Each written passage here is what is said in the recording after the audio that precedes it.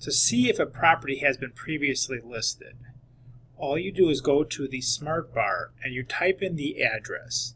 Now what you'll see is that you'll get all these suggested um, options and I suggest that you don't and you just type in the address and you hit enter. And by doing this, what this will do is this will pull up a table view of all times the property was listed.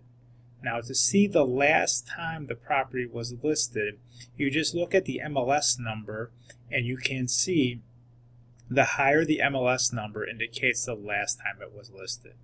So that is how you find your old MLS listings. Simply click on the MLS number and then this will bring the page up for the individual MLS listing. If you want to either print out or save a copy of it, click the print icon up here.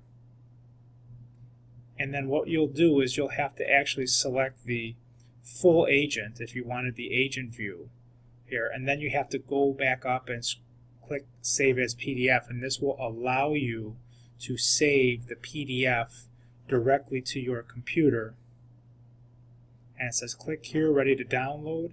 And then what it usually does is it downloads in some kind of file name that you would never recognize here. So after that is downloaded,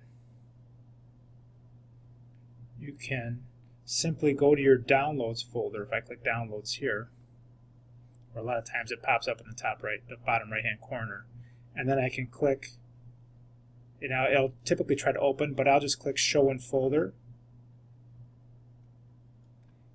and then I can rename this to be exactly what I want it to be. So I just do a right click, click on rename, and then I can name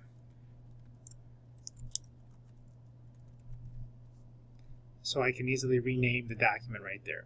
So that is how to download the old MLS sheet.